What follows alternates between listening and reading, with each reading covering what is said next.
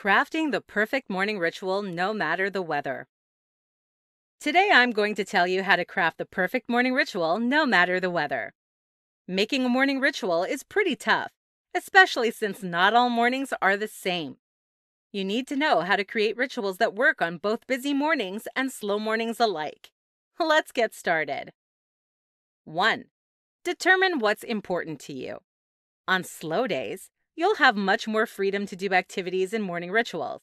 On busier days, however, you'll need to make snap decisions about which activities, priorities, and routines are important. Determine what is important to you and what activities you'll prioritize from the beginning. Knowing exactly what you prioritize means you won't add meaningless or superfluous activities to your morning routine.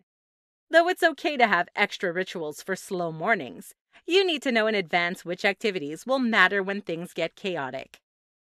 2. Think about your mornings. Once you know what's important to you, you need to think about your mornings now. Do you feel rushed?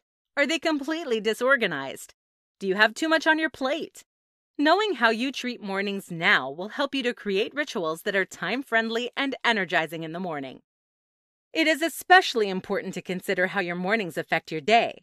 Think about the exact feelings or thoughts that come to you when you wake up and get ready.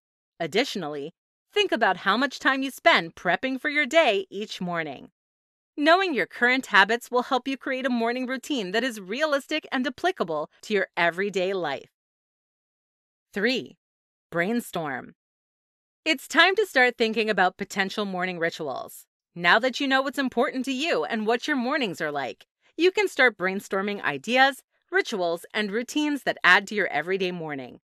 While you're brainstorming, try to come up with activities or small rituals that best address the things that matter most to you and are time sensitive for your mornings. There is no point in adding activities that do not address the things that are most important to you. At this point, just brainstorm on a piece of paper and try to imagine what your mornings would be like doing those activities. Additionally, Ask yourself what value they add to your morning and if they will help you achieve your goals. 4. Start small. After the brainstorming phase is up, you can start trying out different ideas to see what fits and what doesn't. Instead of trying every idea at once, start small. Only add one activity at a time until you master it or decide that that particular activity doesn't fit in with your morning. By starting small, you're more likely to stay committed to the morning routine and not feel overwhelmed. Not feeling overwhelmed in the beginning is important to staying committed. 5. Improve. Finally, the last step for creating the perfect morning ritual is to improve the ritual. On paper, some activities may sound great, but they flop in reality. When this happens, simply adjust the rituals and routines so that they improve your morning and fit realistically into your day. Down the line, you may need to continue improving your morning ritual as your life, goals, and needs change. For more free educational content, visit learnforfree.biz. Content produced and distributed by AllSuperInfo.